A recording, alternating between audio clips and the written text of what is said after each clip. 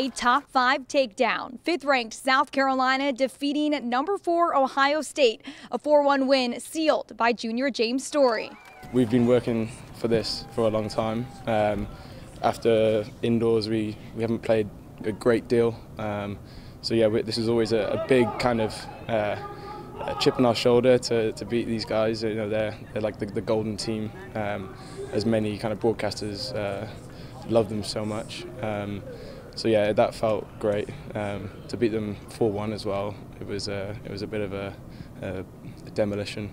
James, we call him Jimbo. Jimbo's the he's the man. You know he. Uh, he's brought solidity. He's just a solid kid all around. But you know he's holding down that four slot like an absolute veteran.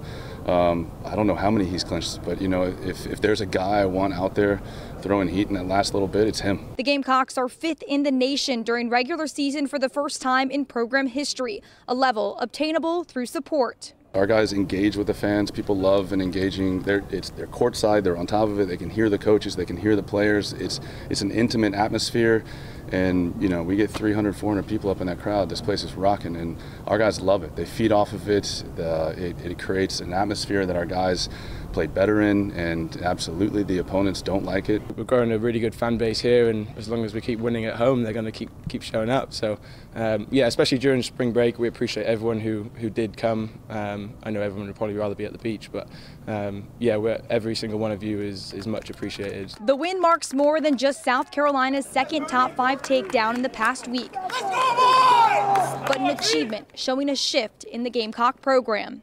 Our name is pretty set amongst the other um, college teams, but it just cements it up there. And uh, you know, for this program, the sky's the limit. Yeah, going from an unranked squad to now hopefully inside three, that's gonna that's a pretty big move, and we're proud of ourselves. Yeah. South Carolina looking to ride that high when they take on Alabama this weekend.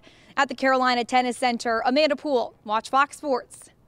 You can read all about the Gamecocks' big win on our website at WACH.com. If you're a wrestling fan in the upstate, you might do a double take thinking you've seen Ric Flair out and about. But don't be fooled. Reporter Chris Womack from our sister station in the upstate has the story.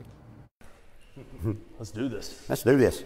There are some people okay. you know without having to see their face. it's, it's definitely, for sure, a wild one. I think he enjoys what he does and is passionate about it. Thousands know who Tommy Guerin is.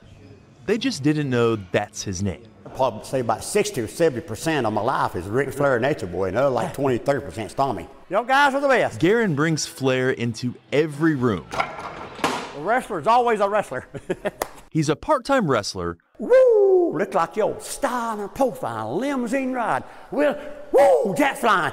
Woo! But best known for being a Ric Flair impersonator. You had to um, kind of had the same, you know, the same thing, hit the same, same vibration, the same energy that he had, you know. The origin story was meeting the real Nature Boy as a child. And then as Guerin got older, his hair got longer. One thing and another, you know. I got the robes. I said, wow, this is neat. How's this going to look on me? I don't know, Chris, before I knew it. Before I knew it, holy cow. Opinions vary on his act. Oh, yeah, I get the haters. Yeah, it's just, uh, that just that just even pushes me more. You know, you know, people don't, you know, the guys that don't like me, the reason I'm doing this, or I don't know if it's jealousy or or what, you know. But the persona is based in love, loving the reactions on people's faces and the unending love Woo! for one of the most famous wrestlers ever. Look at my shadow.